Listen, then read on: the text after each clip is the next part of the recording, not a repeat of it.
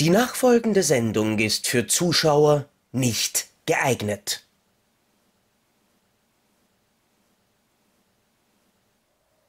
Hey, du siehst durstig aus. Herzlich willkommen bei Trinken mit Zocki, wo wir das Ganze dieses Mal mit leckeren Rezepten mit Wasser ändern. Das erste Rezept, das braucht am Anfang einmal etwas dunkles Wasser. Dann frischen wir es auf mit etwas weißem Wasser und geben zum Schluss noch ein klitzekleines Euterl süßes Wasser dazu. Und schon haben wir ein nettes, klassisch englisches Frühstücksgetränk. Ah, ist das grausam. Ah.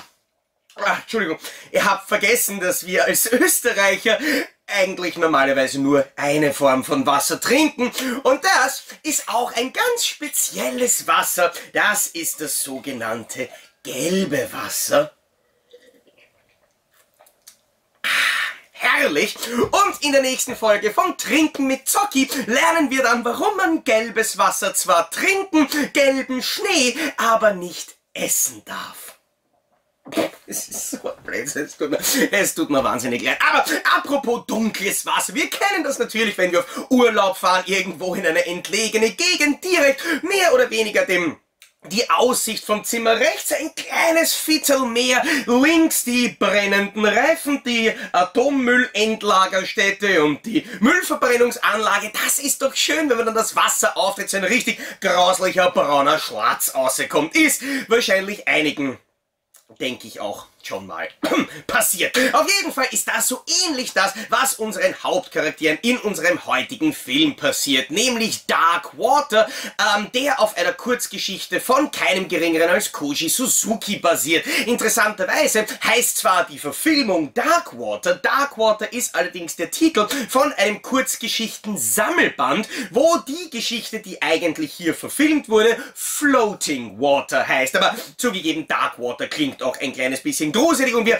kennen dieses System ja auch von einigen anderen ähm, Autoren wie Stephen King oder so. Aber Bevor wir uns jetzt tatsächlich um den Film Darkwater kümmern können, müssen wir ein bisschen mehr in der Geschichte von Koji Suzuki zurückblicken, denn er ist wahrscheinlich einer der bekanntesten japanischen Horrorautoren im Westen. Immerhin ist er derjenige, der die Vorlage für The Ring geschrieben hat. Er ist einer derjenigen, der gerne atmosphärischen, ähm, psychischen Grusel mag, Mystery-Elemente, Thriller-Elemente, überraschende Elemente, aber überhaupt nichts von plakativen Schockmomenten, Splatter, sonst irgendwas hält. Deswegen war er auch relativ unglücklich mit der ersten Verfilmung von seiner Geschichte Ringu, die eben damals als Fernsehfilm unter dem Titel Ringu ausgewertet wurde, wo allerdings eben die Macher der Verfilmung dann tatsächlich einige Elemente wie Sex und Gewalt hinzugefügt haben, um das Ganze für das Publikum etwas tragbarer zu machen. Da war Suzuki allerdings kein großer Fan und wie es dann darum ging, ähm, denselben Stoff fürs Kino noch einmal neu auszuwerten, hat er sich als Produzenten für die Umsetzung ähm, Takashige Ishise ausgesucht, weil der als eigentlich wahrscheinlich einziger Pro äh, äh, Produzent ihm freiwillig auch ein Mitspracherecht an der Verfilmung zugestehen wollte und ihn aktiv in den Entstehungsprozess involvieren. Gedreht wurde der Film dann von Hideo Nakata und der Film war natürlich international international ein riesengroßer Erfolg. Ring ist wahrscheinlich neben The Grudge ähm, einer der bekanntesten japanischen Horrorfilme aller Zeiten. Demnach war es natürlich klar, dass sich dieses Trio irgendwann einmal wieder vereinen wird und es dauert es nach der Verfilmung von Ring genau noch vier Jahre, bis mit Dark Water eben die nächste Zusammenarbeit in den Startlöchern stand. Wie immer war, äh, basierte das Ganze auf der Kurzgeschichte von Suzuki, Nakata war Regisseur und auch Drehbuchautor, Ishise hat ebenfalls am Drehbuch mitgewirkt. Ich schieße übrigens auch ein Produzent von äh, Sachen wie äh, The Grudge oder Shutter oder eben einigen anderen Filmen, die wir sogar ähm, international kennen. Aber wenn wir jetzt dann auf die Verfilmung von äh, Darkwater blicken, dann sehen wir einige interessante Sachen, weil nachdem ich anfangs erwähnt habe, dass die Geschichte auf einer Kurzgeschichte basiert, wissen wir natürlich, dass die nicht wahnsinnig lang war und mit 40 Seiten und nicht unbedingt genügend Stoff für einen 100 Minuten langen Film bot. Deswegen hat man für die Verfilmung natürlich einige Elemente hinzufügen müssen, wie beispielsweise den kompletten Charakter des Vaters, der in der Vorlage nur ganz dezent, dezent am Rand, hm, ich hätte die Geschichte mit dem Wein nicht schon halb zwölf zum Mittag filmen sollen. Äh, nur ganz kurz am Rande ab und zu mal erwähnt hat, aber der dann im Film quasi zum eigenen Charakter wurde. Das ist natürlich eine interessante Sache und wir ähm, bekommen dann äh, den Film, der übrigens ebenfalls international erfolgreich war, damals 2002 so erfolgreich, dass Hollywood sofort einmal wieder quasi ebenfalls ins Dark Water aus dem White Porzellan gegriffen hat und sich gedacht hat, drei Jahre später machen wir ein Remake dazu. Und dieses Remake war ja, äh, besetzt mit Jennifer Connolly, John C. Reilly, Tim Roth und so weiter, mit einigen bekannten Gesichtern ausgestattet, aber jetzt dann doch nicht so wahnsinnig gut. Vor allem, was ich interessant finde, ist, dass während uns Dark Water mehr oder weniger eine Art Fluch zeigt, das Remake uns eine Art Fluch bringt. Denn der Fluch des verheizten Hollywood-Regisseurs. Gedreht wurde das Dark Water Remake nämlich von Walter Salles, der tatsächlich ein Jahr zuvor für seine Verfilmung von die Reise des jungen Che einen BAFTA Award bekommen hat und demnach direkt einmal von Hollywood eingekauft wurde, aber natürlich dazu verpflichtet wurde, irgendeine 0815 Gacke runterzudrehen und nicht seine tatsächliche Kreativität fließen zu lassen. Das ist ja etwas, das zum Beispiel auch deutsche Regisseure wie Florian Henkel von Donnersmark ähm, am eigenen Leib zu spüren bekommen haben, weil wie man von das Leben der anderen zu The Tourist kommt, da muss irgendein Fluch dabei sein.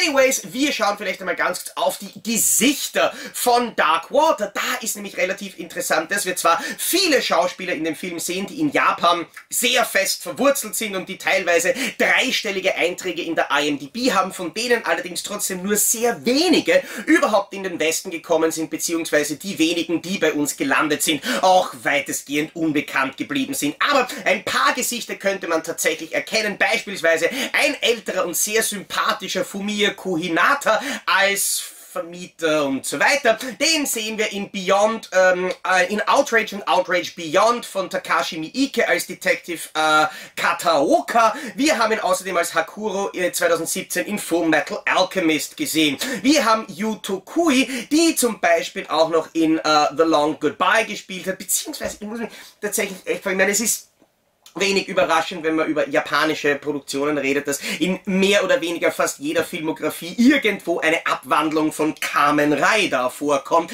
Aber seit ich jetzt in der letzten Zeit öfter über japanische Filme äh, recherchiere, begegnet mir immer wieder eine Serie namens Der nackte Regisseur. Und irgendwie habe ich mich noch nicht getraut, da drauf zu klicken. Falls jemand von euch Informationen davon hat, könnt ihr mir die gerne in den Kommentaren fallen lassen. Und vielleicht belohne ich euch dann mit der nackte YouTuber in irgendeinem Video. Keine Sorge, das wird nicht passieren. Außerdem sehen wir in dem Film Isao Yatsu, der zum Beispiel als Old Man on the Bus in The Grudge 2 zu sehen war, der eben auch als Saito im Original Yuon The Grudge zu sehen war. Eigentlich relativ nett, dass man da ähm, verschiedene Charaktere in den verschiedenen Filmen begleitet. Tatsächlich hat Shigemitsu Ogi den Zahnarzt in Babel gespielt, beziehungsweise war kurz in der Serie Alice in Borderland zu tun, was leider nichts mit dem besten Playstation-Spiel aller Zeiten zu tun hat. Wir sehen äh, Maiko Asano, die in Shutter die Mother on Train gespielt hat, beziehungsweise auch in Tokyo Gore Police mit dabei war. Ein weiterer Punkt, wo mir bei der Recherche aufgefallen ist, dass die IMDb, wenn es um japanische Filme geht, eigentlich nicht wahnsinnig gut ausgestattet ist, weil auch wenn wir relativ viele Rollen von den Darstellern sehen, meistens werden sie dann nur als Actress gecredited und ich habe keine Ahnung, in welcher Rolle sie in diesem Film aufgetreten ist.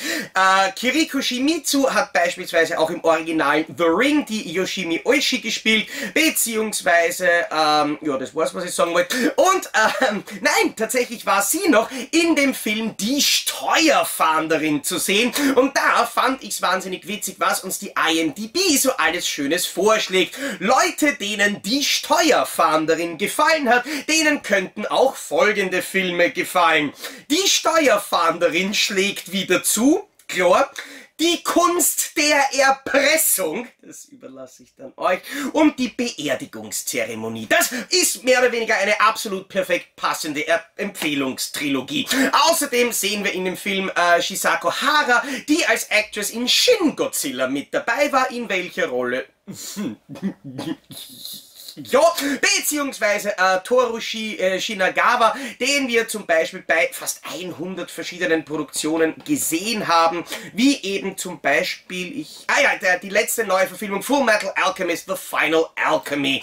Aber darf dazu vielleicht einmal genug mit der Backstory zu dem Film. Kommen wir zur Backstory von den Veröffentlichungen. Hierzulande wurde der Film dann natürlich auf dem Fantasy Filmfest äh, im Jahr 2003 über, äh, über den Kinovertrieb Highlight aufgeführt und fand dann später im September 2003 auch mit einer deutschen Synchronfassung seinen Weg auf die DVD. Diese Fassung ist allerdings mittlerweile seit einiger Zeit ausverkauft, äh, schlummert zwar irgendwo in meinem Regal, aber trotzdem ist Darkwater natürlich einer der großen Kultfilme, bei denen man sich wünschen würde, dass es irgendwann einmal dann auch eine hochauflösendere Alternative gibt. Die haben wir vor einigen Jahren in England bekommen über das Label Arrow Video im Oktober 2016 gab es eine britische Blu-ray, die allerdings wie die japanischen Filme von Arrow ähm, üblich nur den japanischen Originalton mit englischen Untertiteln äh, bot und keinen westlichen Dub. Da war natürlich die Hoffnung nach einer europäischen Alternative ähm, brauchbar. Und jetzt, im Jahr 2022, hat dann ein französisches Label namens The Jokers angekündigt, am 16. November nicht nur eine Blu-ray, sondern gleich auch eine 4K UHD von Darkwater anzukündigen, ähm, äh, zu veröffentlichen im japanischen Original mit französischen Untertiteln. Was, wenn man mich fragt, noch unbrauchbarer ist. Schön wär's, wenn wir eine deutsche Alternative haben können und die serviert uns tatsächlich Plyon Pictures. Zum Zeitpunkt von der Aufnahme von diesem Video habe ich leider noch keinen konkreten Veröffentlichungstermin von diesem Mediabook auf dem Schirm. Der ist allerdings wahrscheinlich, wenn ich dieses Video poste, bereits bekannt. Steht dann in der Videobeschreibung. Da gibt es auch dann direkt den Kauflink zum äh, Play on Pictures Shop, weil dort wird dieses Mediabook exklusiv erscheinen. Und damit nicht genug. Dark Water als äh, limitiertes 4K Mediabook von Play on Pictures ist nicht einfach nur irgendein 4K Release von Play on Pictures. Nein, es ist der Start einer neuen J-Horror Collection. Und deswegen freue ich mich ganz besonders darauf. Einerseits mit euch in der heutigen Ausgabe von Playzuckers Blu-ray Check über den Film Dark Water zu sprechen. Check. Außerdem natürlich die Veröffentlichung näher unter die Lupe zu nehmen und damit auch eben ein kleines bisschen den Blick auf die Blaupause von dieser neuen J-Horror Collection zu werfen, die eben entgegen der zuletzt ähm, gestarteten Western Arabiata-Reihe nicht in einem eigenen Format erscheint, sondern ganz normal im G2 Mediabook. Ich freue mich, dass ihr bei dieser Ausgabe von Playzuckers Blu-ray Check wieder eingeschaltet habt, bedanke mich bei Play on Pictures für das Rezensionsmuster und freue mich darauf mit euch in der heutigen Ausgabe von Playzuckers Blu-ray Check einen genaueren Blick auf das brandneue deutsche 4K UHD Mediabook von Dark Water zu werfen. Der erste Anblick des Mediabook Frontcover Artworks von Darkwater hat mir zugegebenermaßen ein doch recht deutlich hörbares Oh wow, entlockt. Dabei ist natürlich einerseits die fantastische und im Manga-Stil gehaltene Zeichnung von Dominic Yell zu erwähnen, aber der erste Fokus meiner Aufmerksamkeit war trotzdem die beiliegende J-Card. Die erfüllt ihre angestammte Funktion mit dem Transport der Inhaltsangabe des Bonusmaterials und den technischen Details natürlich wie gewohnt auf dem Backcover, hat allerdings diesmal die Eigenheit, dass sie entgegen ihres Namensgebers nicht quasi über die untere Kante des Mediabooks auf das Frontcover überlappt, sondern über die Seite, über den Spine. Das ist natürlich in dem Fall eine ganz eindeutige Hommage an die sogenannten Obi-Stripes, die in Japan bei CD- und Vinyl-Veröffentlichungen ganz üblich sind und dabei kleine Teile vom Frontcover über den Spine mit kleinen Teilen vom Backcover verbinden. Danke an der Stelle für meinen, äh, an meinen YouTube-Kollegen Christian Koch, der mir diese, diesen Querverweis gesteckt hat, obwohl ich diese Obi-Stripes bereits bei einigen Veröffentlichungen, beispielsweise Soundtracks aus dem Final Fantasy oder Kingdom Hearts-Universum gesehen und hier auf meinem Kanal sogar gezeigt habe, wäre mir das selber nie aufgefallen. Und deswegen möchte ich zuerst einmal einen Blick eben auf diese J-Card werfen. Da ist es natürlich absolut putzig, dass die Reihe dann auch gleich J-Horror Collection heißt, wobei das J in J-Horror und J-Card ein anderes ist als das in Homer J. Sims. Ich mache schon weiter. Wir sehen da ein ähm, etwas in Farbe gehaltenes Gesicht von ähm, Ikuko. Das ist übrigens derselbe Bildausschnitt, der dann rechts davon natürlich etwas kleiner noch integriert in das Design in dem Manga-Stil zu sehen ist. Wir sehen die Inhaltsangabe, ein paar weitere Details zu diesem Release, wie auch das FSK-Logo und den Hinweis, dass es die Nummer 1 der Reihe ist. Schauen wir mal über den Spine, da lesen wir lediglich den Filmtitel, die Blu-ray und UHD-Logos beziehungsweise den Hinweis auf die Reihe. Bei dieser Reihe handelt es sich also um eine, die lediglich auf dem Frontcover und der J-Card durchnummeriert ist und wo es im Gegensatz zu beispielsweise der Western Arabiata-Reihe keine Durchnummerierung auf dem Spine gibt. Dann landen wir auf dem Backcover. Da gibt's natürlich die gewohnten Informationen, einige Bilder aus dem Film, die Inhaltsangabe, die technischen Details, Informationen rund ums Bonusmaterial, Casting, Crew, Angaben, technischen Sachen und so weiter. Dabei möchte ich mich allerdings in dem Fall natürlich beim Bonusmaterial kurz aufhalten. Das ist bei dieser Edition nämlich absolut fantastisch. Play on Pictures hat es geschafft, ähm, das komplette Bonusmaterial von Arrow Video für ihre Veröffentlichung äh, zu lizenzieren, weswegen die Blu-ray, die deutsche Blu-ray von Darkwater dieselben Extras enthält wie die britische von Arrow. Das ist einerseits ein Interview mit Hideo Nakata, dem Regisseur, der bei äh, einer fast 30 Minuten langen Laufzeit bei dem im Tokio im Mai 2016 geführten Information einige Informationen generell über seine Karriere und über das, was er als Filmemacher bei The Ring und Darkwater erfahren hat, äh, sagt. Eben ein bisschen ein umfangreicheres Feature. 20 Minuten lang kommt dann ebenfalls Koji Suzuki zu Wort Award ebenfalls ein Interview, das im Mai 2016 aufgenommen wird. Und auch hier spricht er ein bisschen über seine äh, Karriere als Horrorautor, beziehungsweise dann natürlich im Speziellen über die Adaption von Darkwater, von der Kurzgeschichte zum Film. Außerdem ähm, kommt Yun Yunishiro Hayashi fast 20 Minuten zu Wort, der der Director of Photography von dem Film ist und der vor allem über seine wiederholten Zusammenarbeiten mit dem Regisseur Hideo Nakata sehr interessant spricht. Es gibt dann auch noch ein kürzeres, äh, kürzere Archive-Interviews mit Hitomo, äh, Hitomo Kuruko, äh, Kurokino, manchmal ist er Zungenbrecher, mit Asami Mitsukawa bzw. Ähm, Shikao Suga, die zwischen 8 und 3 Minuten lang sind, beziehungsweise dann noch ein kurzes Making-of Archive Featurette aus dem Jahr 2002, das bei 15 Minuten Laufzeit einen ganz knappen Blick hinter die Kulissen ermöglicht. Das sind allesamt Features, die wir im deutschsprachigen Raum das erste Mal sehen, weil die alte deutsche DVD von Highlight ausschließlich mit Trailern im Bonusmaterial ausgestattet ist und während die Archive-Features äh, dann tatsächlich doch eher teilweise ein bisschen werbelastig beziehungsweise nur marginal interessant sind, sind es wirklich die drei neu von Arrow Video produzierten Features aus dem Jahr 2016, die einen wirklich interessanten Blick von einerseits eben der Entstehung der Kurzgeschichte bis zur Entstehung und Umsetzung des Films liefern und meiner Meinung nach definitiv sehenswert sind. Jetzt apropos definitiv sehenswert, ähm, werfen wir mal einen Blick auf das eigentliche Frontcover. Diese J-Card wurde vorne mit zwei Klebepunkten angebracht, hinten dann noch einmal mit einem und wir sehen jetzt eben hier das komplette Frontcover Artwork. Das ist im Fall von Dark äh, Water komplett sauber ausgefallen, bietet eben keinerlei Namenseinblendungen, Titelschriftzüge oder sonst irgendwas. Die sind eben auf dem überlappenden Teil der J-Card komplett enthalten gewesen und daher hier redundant. Wir sehen Ikuko mit der ähm, absolut wichtigen Tasche, die einen, einen wichtigen äh, äh, äh, Stellenwert im Rahmen der Geschichte des Films hat. Vor allem finde ich hier cool, wie sie mein Gott, mit diesem Regenmantel, den ich mir irgendwie gerade gelb vorstelle, ist sie natürlich eine Mischung aus April O'Neil beziehungsweise dem Kind am Anfang von Stephen Kings S. Aber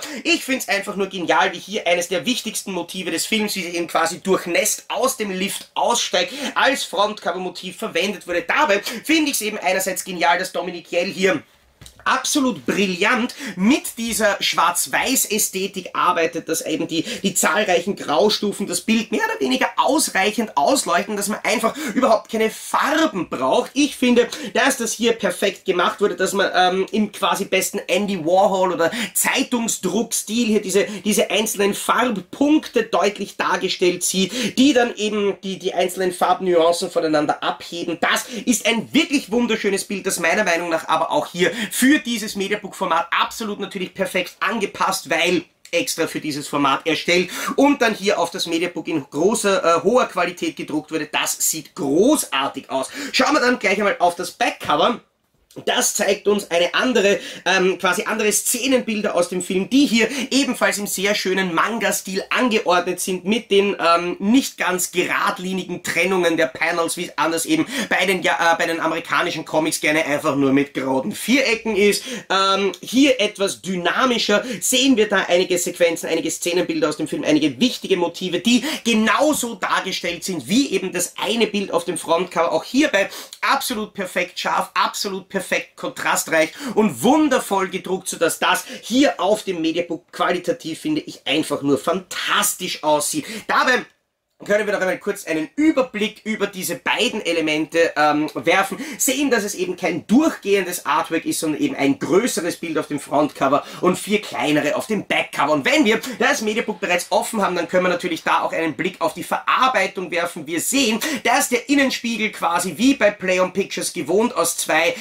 dickeren Stücken Papier wirkt, aus Indie das eigentliche Booklet, das in dem Fall wieder ähm, 20 Seiten Mist eingeklebt wurde, wurde und damit sehr stabil ist und eigentlich nicht rausfallen kann. Wir schauen dann einmal in das Innere von dem Mediabook. Da sehen wir auf der linken Seite auf der 4K UHD einerseits natürlich die junge ähm, Ikuko vor dem Lift sitzen, bekommen dann ein durchgehendes Innenartwork, das ganz offensichtlich durch den, ähm, durch den Etagenanzeiger auf der rechten Seite aussagt, dass es sich um den Lift handelt. Ansonsten allerdings in Wirklichkeit nur ein, ja, wie soll man sagen, Splash ist, was natürlich auch irgendwie sinnbildlich für den Film gesehen werden kann. Auf der rechten Seite, auf der Blu-ray sehen wir dann grundsätzlich dasselbe Frontcover-Artwork wie auf dem Mediabook selbst. Dabei das Ganze allerdings in die blauen Farben gehüllt, dass das Ganze natürlich besser in das Innere von dem Mediabook passt. Auch hier mehr oder, einfach, äh, mehr oder weniger einfach nur irgendein Splash und irgendwelche verschiedenen Farbnuancen von Blau im Hintergrund.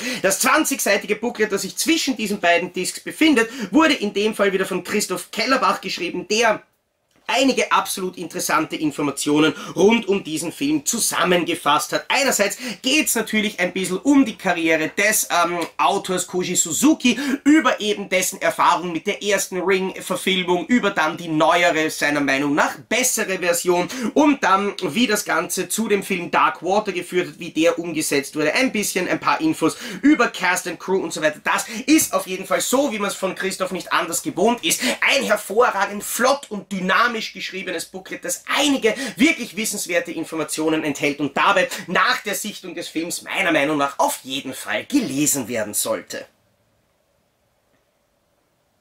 Und noch etwas gibt es, auf das man definitiv einen genaueren Blick werfen sollte. Und das ist die Datenschicht der 4K UHD-Disc. Natürlich ist es eine feine Sache, dass das Mediabook äußerlich optisch schön aussieht, aber wie sieht's mit der Bildqualität der brandneuen 4K-Auswertung aus? Arrow Video hat damals im Jahr 2016 bereits gemeint, dass es sich bei ihrem Transfer um ein vom Lizenzgeber ähm, zur Verfügung gestelltes Material handelt, das dann lediglich ein bisschen farbkorrigiert bzw. nachbearbeitet verarbeitet wurde, aber ganz offensichtlich hat Play on Pictures hier ein schönes 4K Master bekommen. Wie sich das auf der deutschen UHD macht, das möchte ich mit euch im nächsten Segment von Playzuckers Blu-ray Check genauer durchgehen. Allerdings möchte ich an der Stelle noch einmal ganz deutlich einige Informationen festhalten. Erstens, alle Screenshots aus dieser jetzt folgenden Slideshow wurden von mir selber gemacht, nicht irgendwie bearbeitet oder verfremdet, mussten aber natürlich ins Video eingefügt, ähm, abgespeichert, ins Video eingefügt, dieses dann gerendert und auf YouTube hochgeladen werden, weswegen die Bildqualität des Screenshots in der jetzt folgenden Slideshow nicht mehr 1 zu 1 die tatsächliche hohe Bildqualität repräsentiert. Das wissen wir ja S Ventura technisch schon von meinen letzten 800 irgendwas Blu-ray-Checks, aber ganz wichtig ist mir bei einem 4K UHD-Check immer noch der Hinweis, dass ich noch technisch nicht imstande bin, Screenshots von einer 4K-Scheibe direkt zu machen machen. Das heißt, alle Screenshots, die wir jetzt sehen, stammen von der Blu-ray, die in dem Mediabook enthalten äh, ist und demnach nur von der 1080p Bildquelle in Standard den Dynamic Range SDR und können daher alleine schon einmal zwar auch nicht eins zu eins das Blu-ray-Bild, aber schon gar nicht das der 4K UHD repräsentieren. Das 4K-Master, das Plyon Pictures für diesen UHD-Release zur Verfügung stand, sieht absolut hervorragend aus. Grundsätzlich wird auf dem Cover-Artwork keine Form von HDR erwähnt. Glücklicherweise ist es aber auf der Disc offensichtlich schon enthalten, weil mein LG UHD-Player mir beim Start des Films sehr wohl einen Hinweis auf Dolby Vision angezeigt hat. Dabei muss man sagen, dass beim direkten Vergleich über den Fernseher zwischen der Standard Blu-ray und der äh, 4K-Scheibe eine Menge an Unterschiede auffallen. Ganz besonders, wie klar die Kanten gezogen sind, wie schön ausgebaut der Detailbereich hier ist. Das ist bei einem etwas grainiger ausgefallenen Film wie Dark Waters natürlich ganz besonders in der Grain-Struktur zu erkennen. Man muss ja dazu sagen, dass das UHD, ähm, dass der UHD ein äh, Codec wesentlich effektiver arbeitet und Play on Pictures hat den Film hier auf der Standard Blu-ray mit 30,6 GB encodiert, wohingegen er in 4K auf der UHD 59,7 GB Anspruch nimmt und quasi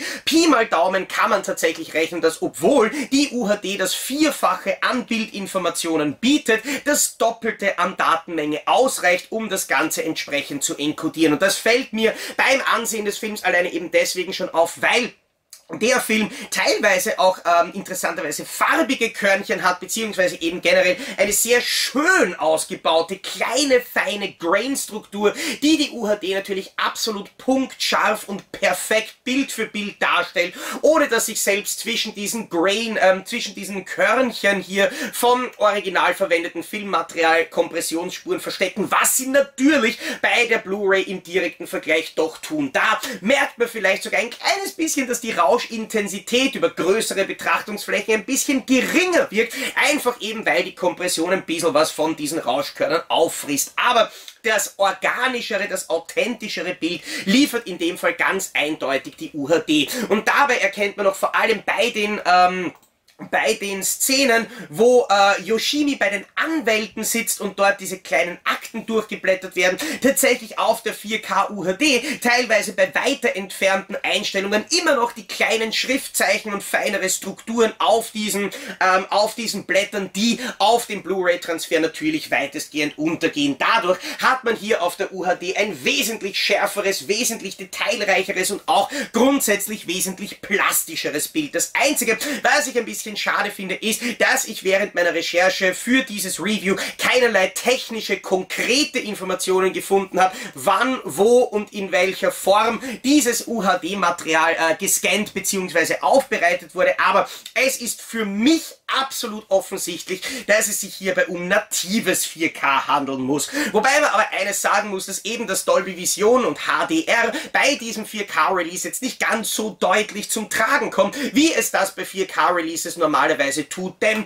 Darkwater ist ein Film, der sich grundsätzlich gerne relativ düster und farbarm präsentiert. Wir haben zwar vereinzelte Einstellungen, die quasi diesen orange-sepia-Ton haben, aber ich denke mir, bei dieser Slideshow ist euch eben bereits schon aufgefallen, dass eben Darkwater nicht mit einer knalligen, bunten Farbpalette spielt, dass das zwar teilweise gerne bewusst akzentuiert wird, eben wenn diese rote Mimiko-Tasche zu sehen ist, die knallt natürlich auf der UHD gleich noch einmal eine große äh, Stufe mehr als auf der Blu-ray und fahrt förmlich aus dem Bild, aber auch hier bietet die Blu-ray an sich bereits ein wirklich schönes äh, Bild. Man merkt, die, die größte die größte Farbpalette, witzigerweise zum Beispiel bei den Szenen im Kindergarten, beziehungsweise eben bei allen Szenen, die nicht in diesem einen Wohnkomplex spielen, weswegen man eben ganz deutlich davon ausgehen muss, dass eben auch diese Reduktion der Farbpalette natürlich ein ganz bewusst vom Regisseur eingesetztes visuelles Stilmittel ist. Aber eines ist klar, Darkwater bietet auf der Blu-ray eine absolut hervorragende Bildqualität für das Blu-ray-Format,